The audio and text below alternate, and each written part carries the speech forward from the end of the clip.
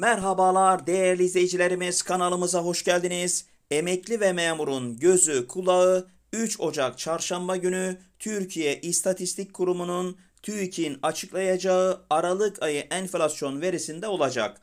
Aralık ayı enflasyon verisinin belli olmasıyla 6 aylık enflasyon oranı hesaplanacak. Dolayısıyla refah payı hariç SSK, Bağkur emekli zammı ile memur maaş zammı netleşmiş olacak.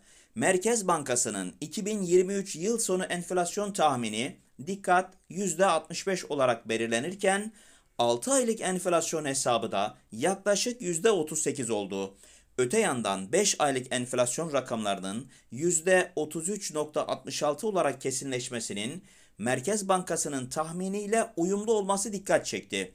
Türkiye Cumhuriyeti Merkez Bankası'nın 6 aylık enflasyon tahmini %37.76 olarak dikkat çekiyor. Bilindiği üzere memurlar her yıl Ocak ve Temmuz döneminde zam alıyor. Memurlar 6 aylık enflasyon farkına ilaveten toplu sözleşme zammı alıyor. Ocak dönemi için bu rakam %15 olarak belirlendi. Yani Merkez Bankası'nın %65'lik yıl sonu enflasyon tahmini ve %15'lik toplu sözleşme zammına göre memurlar yaklaşık %49-%50 zam alacak. Asgari ücret zammı da %49.11 olarak gerçekleşerek beklenen memur zammına yaklaştı. Bu rakamın emekli kök maaş zammı için referans olması bekleniyor değerli izleyicilerimiz. Yani 7500 TL olan en az emekli maaşının en az %50 arttırılması bekleniyor.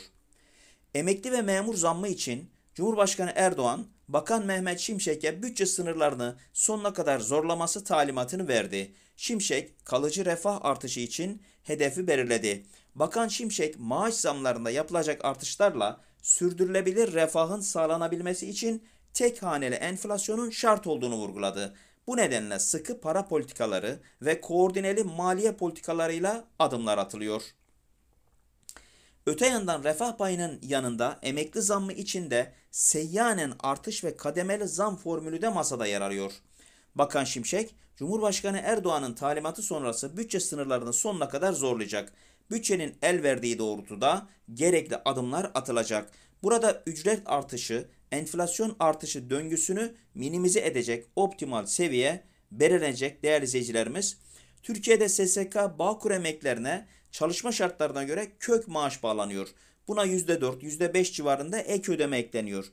Eğer ortaya çıkan bu maaş en düşük emekli maaşından az ise hazine desteği devreye giriyor. Örneğin bir emeklinin kök maaşı 6000 TL ise buna %4 ek ödeme ilave ediliyor.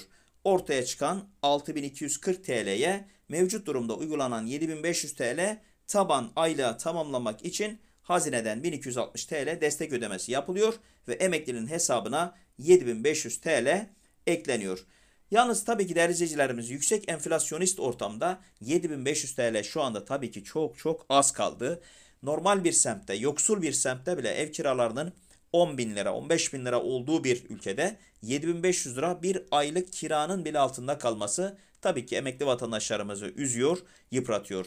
O nedenle en düşük emekli aylığının ve diğer emekli aylık aylıklarının vatandaşlarımızın e, daha refah içerisinde daha mutlu ve huzurlu bir şekilde geçinebilecekleri hale getirmeleri gerekiyor. Gelişmeler oldukça sizleri bilgilendirmeye devam edeceğiz. O nedenle kanalımıza abone olmayı, bildirim zilini açmayı ve videomuzun beğen tuşuna basmayı unutmayınız. Bir sonraki videomuzda görüşmek üzere. Hoşçakalın değerli izleyicilerimiz.